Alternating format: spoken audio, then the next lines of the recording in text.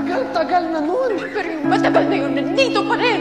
That was just one mistake. Isa lang. Kaya isa, dalawa, tatlo, pareho lang yun! Sumasaw ka pa rin sa iba! Lasing ako nun. Tik na palusot yun! Kahit lasing ka, alam mo ginagawa mo! Kaya nga, nag-sorry ka agad ako sa'yo nun, di ba? Kasi kahit anong sabihin ko, I was wrong. Nagkamali ako. Nasaktan kita.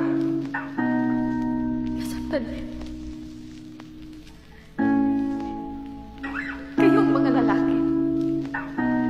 akala niyo pag nambababae kayo, nasasaktan niyo lang kami. Makikipagtsuktsakan kayo tapos ina-expect niyo, iiyak lang kami.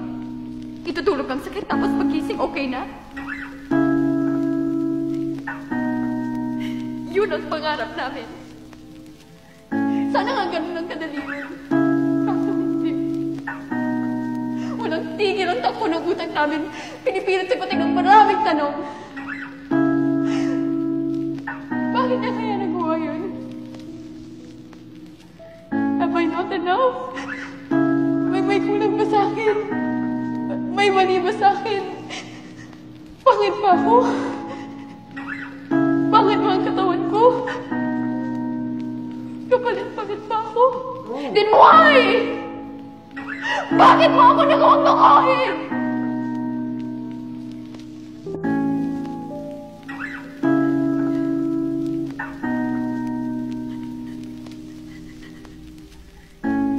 Alam mo kung gaano kayo na para sa akin magtiwala sa iyo. But yet I trusted you. Because you promised.